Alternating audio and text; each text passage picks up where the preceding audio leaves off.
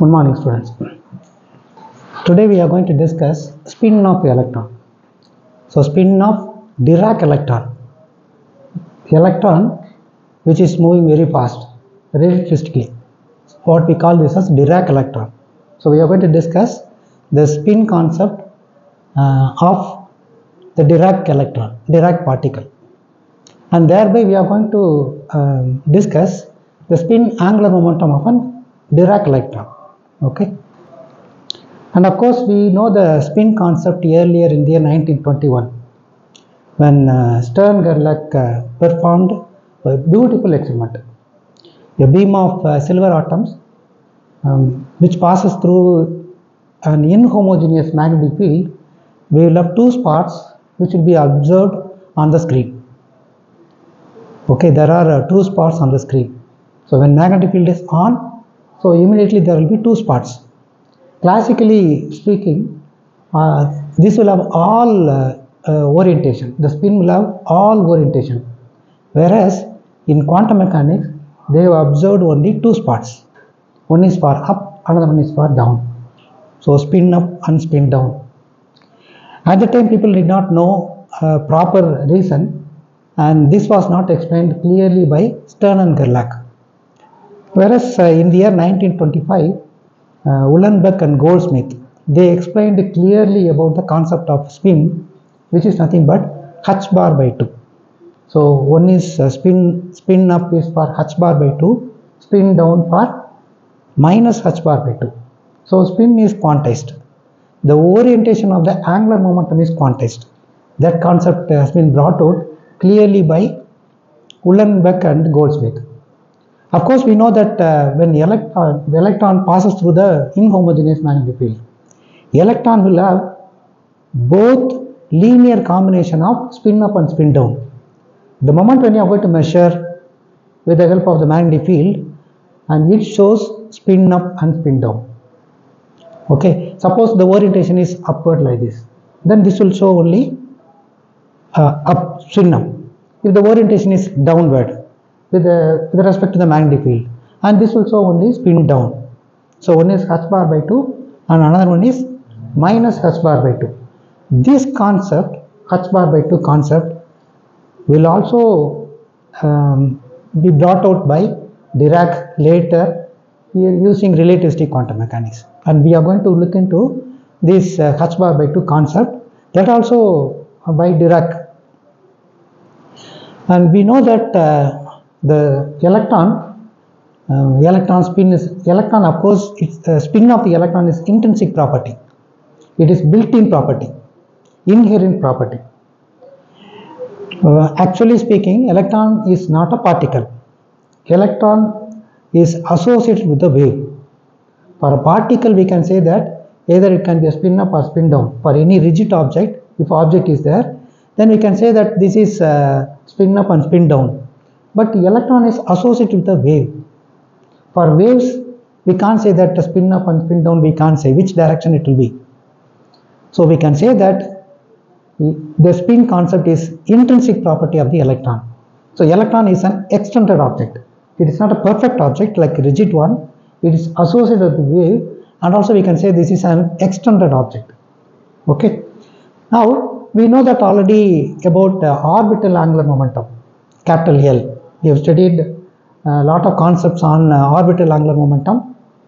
And thereby thereby we came across many derivations. And if it is associated with s s stands for spin angular momentum. So l l stands for orbital angular momentum. S stands for spin angular momentum. Together we will call this as total angular momentum. The meaning of uh, j j will have a perfect meaning when it is added with j plus l plus s. l alone will have no meaning. s alone will have no meaning. When it is added with l plus s, that is orbital angular momentum with spin angular momentum, only then the perfect meaning of total angular momentum is coming. So that's very very important concept. So we are studying all those things in vector atom model. The spin orientation, spin uh, space quantization, all those things come under only in vector atom model. In vector atom model, we know that for example, when, um, when atom is inside the magnetic field, the magnetic field is switched on, the energy levels will be split. We know already this. So suppose we consider that L equals 1. Okay, you have orbital uh, quantum number for L equal to 1, then M goes from minus L to plus L through 0. So there will be three levels, correct? For L equals 1, we can have M equals minus 1, 0, plus 1. For L equal to 2, your M will be minus L to plus L through 0. So minus 2, minus 1, 0, plus 1, plus 2. So we have 5 levels. Okay, so this is what we know already. The spin concept, as I said just now, uh, this is uh, with the help of orientation, spin up and spin down. So spin, the space is quantized. How to visualize uh, this space is quantized? The quantization of space, it's a very simple idea. You just think of about a simple pendulum. For any simple pendulum, we know that uh, the oscillation will be exactly like this. Okay? So we have simple pendulum, the oscillation will be exactly like this. If you are going to consider a conical pendulum, conical pendulum means the oscillation will be exactly like this. It is exactly like a cone. Okay, so simple pendulum oscillation will be like this, whereas a conical pendulum it will be exactly like this. Okay, I am going to combine these two, simple pendulum and conical pendulum. For example, for the oscillation, if it is like this, then I can have a cone. Suppose pendulum is like this, okay, the cone will be exactly like this. Suppose uh, cone is in the upward direction, so simple pendulum the oscillation will be like this, cone will be like this. Okay, so simple pendulum, suppose the oscillation like this means con conical pendulum like this. I am going to combine these two. So for L equals uh, uh, 2, your ML, M will be as I said minus 2. So this will be your minus 2, this will be your minus 1, this will be 0 and this will be plus 1 and that will be plus 2. You combine all the things what we call this as spherical pendulum. So this is actually the concept of vector vector atom model. So this is the concept of vector atom model in which electron uh, has a spin. Okay. So this is the idea about the spin concept which we are going to see now and uh, non-relativistically people have found out earlier and this was, this uh, has been clearly interpreted by Dirac okay which we are going to see now. So spin cannot be determined independently. If it is associated with the L we can observe okay spin cannot be done cannot be measured independently the spin of the electron carries no energy and therefore it can be observed only if it is coupled with the orbital motion of the electron which is nothing but angular momentum, orbital angular momentum. So S alone will have no meaning. If it is associated with L, meaning is there. Okay. So always J goes with L plus S. This can be demonstrated through conservation of total angular momentum which we are going to see now and also through spin orbit uh, coupling energy which is out of syllabus for you. Okay? So this will this we are not going to deal with. Whereas we are going to deal with conservation of total angular momentum through the equation of motion. Okay we are going to take some equations of motion from some pictures. We will see now. So we are going to take the equation of motion which we have already studied in quantum mechanics 1 mm, pictures like Schrodinger picture Heisenberg picture and interaction picture so from which we are going to demonstrate now. Okay. So we know that the dynamical variable commutes with the Hamiltonian. Any dynamical variable always will commute with the Hamiltonian. We know already. And the dynamical variable which we are going to take here in the section is L. Okay. We are going to take uh, the dynamical variable as L. So whether L will commute with the Hamiltonian or not, we are going to find out. Okay. Of course, we know that L equals R cross P. The component of L we're going to take as Lx, Ly, Lz. For the time being, we are going to take the component as Lx. So, using consideration of angular momentum, the rate of change of Lx of a particle in a Heisenberg picture is given by equation of motion exactly like this. So, we have already studied in quantum mechanics one about the pictures. So, this is about Heisenberg picture in which Hamiltonian depends on time. Okay. So your IH cross dLx by dt which is equal to commutator of Lx comma h. Okay. So now if Lx comma h, okay, any dynamical variable commutes with the Hamiltonian. Suppose if it commutes with the Hamiltonian, the answer is 0. If it doesn't commute means answer exists.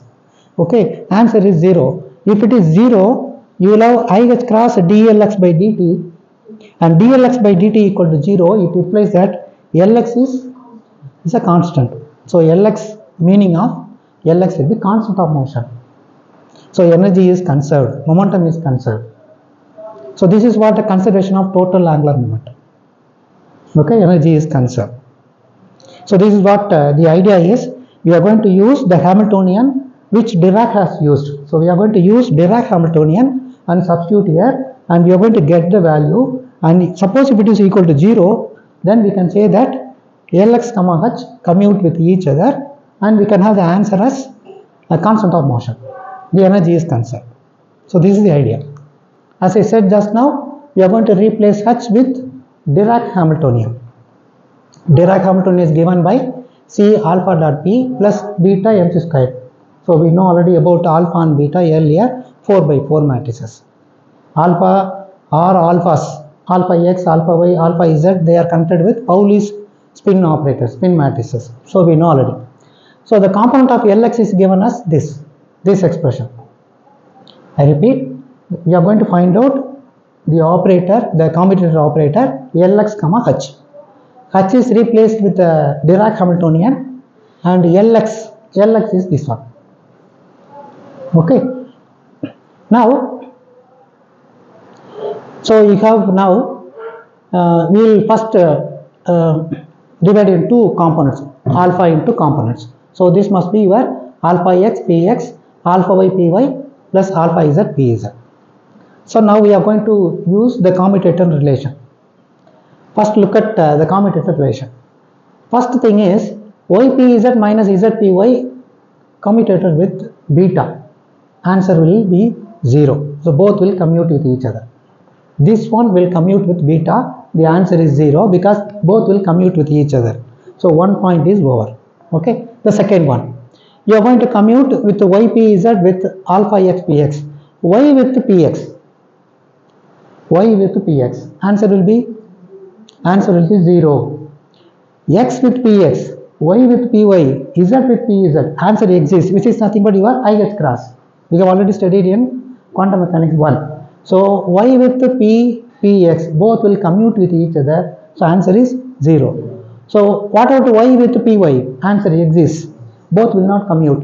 What about uh, y with um, uh, pz answer is 0 so we have one answer. Okay using this.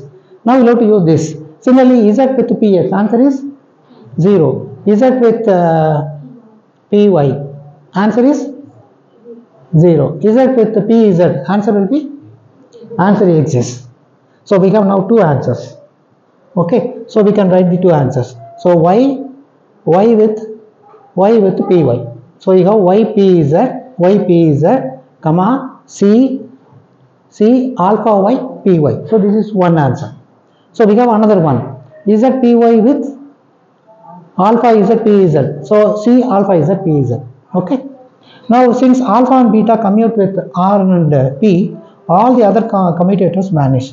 So equation 8.98 can be written as. Now we are going to use we are going to use this uh, answer for this commutator.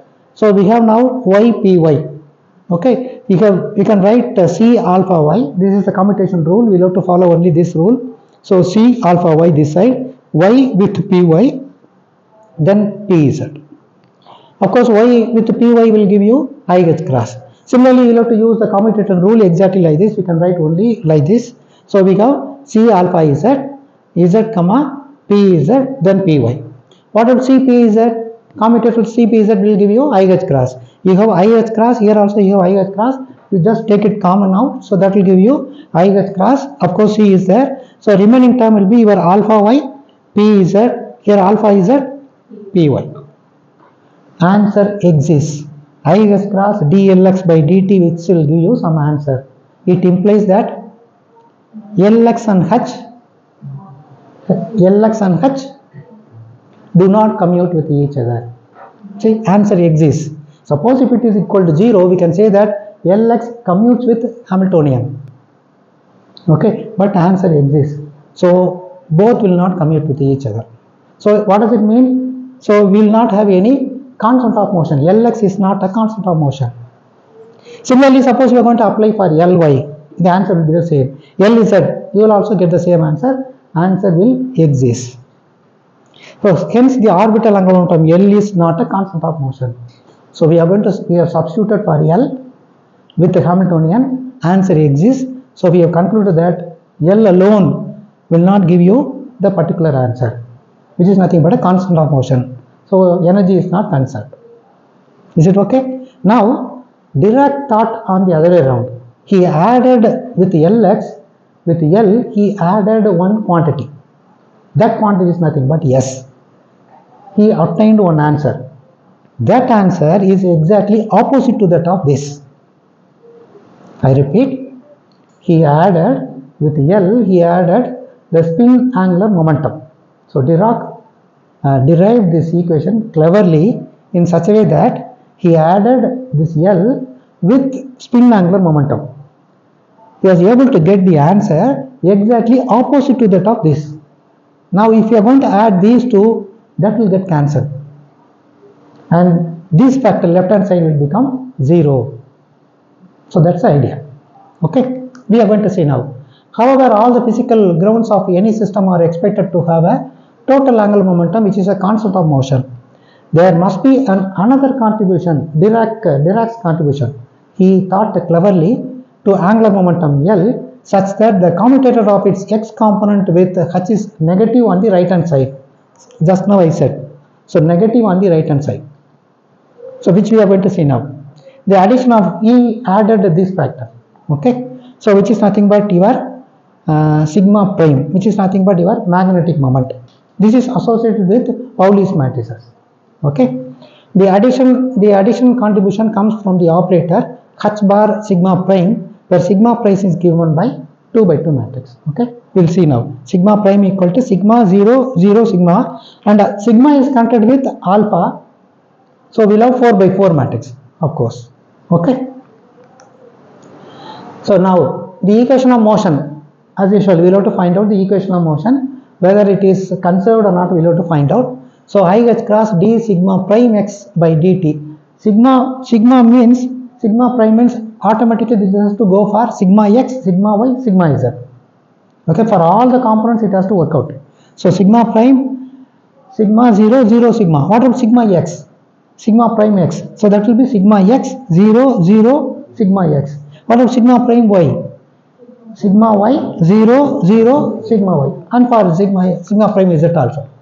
So I h cross d sigma prime x by dt which is in nothing but sigma prime x divided uh, comma h. We know already this equation which is nothing but which is nothing but equation of motion which you have taken from Heisenberg picture. The same idea. Now sigma x prime x and what about for h? h we can write as a Dirac's Hamiltonian. Okay, now we are going to use uh, commutator rule. Okay, commutator rule. So using commutator rule, first we will have to go only with the components. So this will become alpha x px plus alpha y py alpha z pz. So this can be written as exactly other terms are be like this. Now we are going to use commutator rule. Just now I said that alpha x will commute with beta. So answer is 0. So first we are going to leave the first and last term. The remaining term. So remaining term will be your I, I can pull C as common out. I have pulled out. So sigma prime x with alpha x. I have written. So px is coming here. Plus sigma sigma prime x alpha y with the commutator. So now commutator of sigma x prime comma alpha z. So this is the first term. We can consider this as second term and third term. We are going to find out each value. We are going to add all those things and we are going to put into equation 8.104. Okay. What of this? A, this can be written as a comma b. So ab minus b. So we can write this as sigma prime x alpha x minus alpha x sigma prime x. Okay. Now we find out the expression for and value of first term. So sigma prime x alpha x. What is sigma x prime? What is sigma x prime? Sigma x 0 0 sigma x. What is alpha x? Alpha x is nothing but 0 sigma x sigma x 0.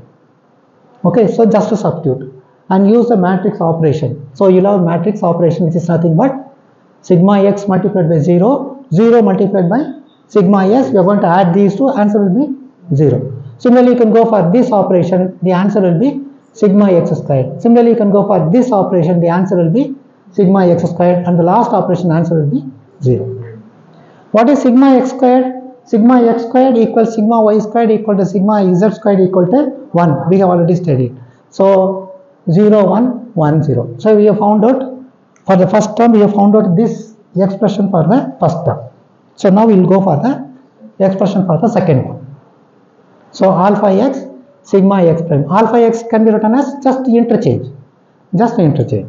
So your alpha x is nothing but 0 sigma x sigma x 0 and your alpha prime x is nothing but sigma x 0 0 sigma x. Again do the matrix multiplication. You will get 0 sigma x squared sigma x squared 0. Sigma x squared we can replace as 1 so 0 1 1 0 you compare these two below to minus you have to subtract. Answer will be 0 you just subtract from here to here answer is almost same thing. See it's same thing. So this will be 0 so the value of the first term we have found out the first term answer is 0 now we'll go for the expression for the second term. Okay? Second term this is your second term. Okay? So you have sigma x prime alpha y minus alpha y sigma x prime. Okay? So sigma x prime alpha y. Sigma x prime can be written as as usual. Sigma x 0 0 sigma x. Your alpha y will be 0 sigma y sigma y 0 so now matrix multiplication will give you 0 0 sigma x sigma y. The next one will be you have 0 sigma x sigma y. The last term will be 0 what is sigma x sigma y? Sigma x sigma y is nothing but i sigma z. So you can write instead of this you can write i sigma z. Here too you can write i sigma z. So you pull i out i out so 0 sigma z sigma z 0 that will give you i alpha z is it okay? Any doubt? So now you are going to reverse it. Ab minus ab minus ba okay ab minus ba you are going to reverse it. So alpha y sigma x prime. So you have to bring the reverse term do the matrix multiplication. You will get exactly like this. You pull i out. Here it is minus i out you pull minus i out so that will give you 0 0 i uh, you have pulled out. So sigma is at sigma is at 0 so that will be minus i alpha z okay? So now you subtract from here to here. So that will give you sigma prime x alpha y minus alpha y sigma z equals this is i alpha z minus of minus i alpha z that will give you 2i alpha z. So we have found out the value of second term 2i alpha z. So your um, third term i have given an assignment for you. So assignment goes like this. You are going to find out the expression or value of the third term. Okay? Third term. You are going to find out similar similar calculation. So similar discussion. And the answer is minus 2i alpha y look at the term here. It comes x y z. It is exactly like a cyclic permutation. See x y z. The answer goes with plus. Here answer is minus. It doesn't follow the cyclic permutation. See x z answer is y. See x z y. So that's why answer is with a minus sign. Okay now you are going to add all the all the three terms. You are going to add all the three terms correct? The first uh, term will be 0 the second term answer is 2i alpha z. For the third term minus 2i alpha z. So we are going to add all the things. Okay. When you are going to add all the three you will get taking the common term out. That will give you minus 2ic here you have alpha y p z. I have pulled one minus sign. So this will be alpha z py is it okay? I have brought these 2 and I cancelled this i so that will give you h bar by 2 d sigma prime x by dt which is equal to minus c alpha y pz minus alpha z py okay this is for spin angular momentum sigma spin magnetic moment. This is this expression already we learned for orbital motion. Okay angular orbital angular momentum. Okay orbital motion. And look at uh, this expression on the right hand side you just look at the expression on the right hand side. It's almost same. See here. It's almost. See ih cross you cancel out. So this will give you dlx by dt which is equal to c multiplied this expression. C c multiplied by this expression. It's the same. Okay it's the same right hand side. So you're going to add this one and this one. You're going to add these two. This is the contribution from orbital motion okay orbital motion orbital angular momentum. This is contribution from spin angular momentum. Spin magnetic moment. Okay spin spin angular momentum. You're going to add these two. Right hand side get cancelled. Which is equal to 0 out of the left hand side? Lx plus 1 by 2 h bar sigma x. See right hand side is 0 if right hand is 0 it implies that implies that come on anyone energy is conserved angular momentum is conserved. It's very clear. So both will commute with each other. It's very simple that both will commute with each other. Suppose we are going to refer this as j. We can say that j with h j with h will commute with each other. So we can say that j comma h commutator equal to 0 lx comma h is not equal to 0 s comma h is not equal to 0 if it is 0 we can say that this one will commute with Hamiltonian. We can say this will show the constant of motion. This will be conserved. But this is not the case. Right hand side has some value. And here also right hand side has some value. Here right hand side is no value at all. So we when you are going to add only then we can uh, show that the right hand side becomes 0 so equation of motion. Constant of motion so energy is conserved. Momentum is conserved. So dlx by dt we have earlier we have seen.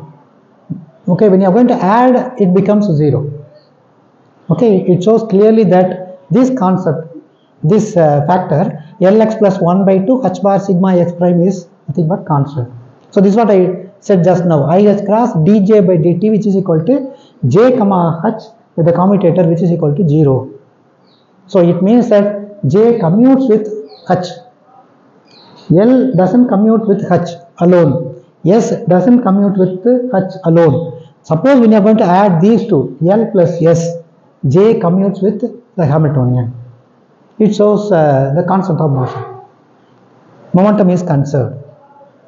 Okay? It's clear that l plus 1 by 2 h bar. So that's why from the beginning i said h bar by 2 can you remember this factor which Uhlenbeck and Goudsmit referred h bar by 2 the same thing he also obtained the same thing using uh, Dirac's relativistic Hamiltonian okay so so this is your contribution from spin this is the contribution from orbital angular momentum. So L plus 1 by 2 h bar sigma commutes with the Hamiltonian and can be taken as the total angular momentum which is nothing but your J.